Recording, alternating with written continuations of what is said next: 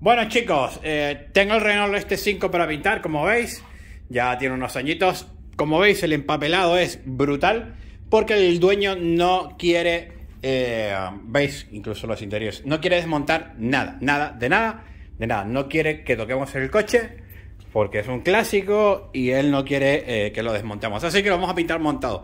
Pero la currada que nos hemos metido, o sea, que me he metido yo con el cintado de coche es brutal. De las cintas Vivac.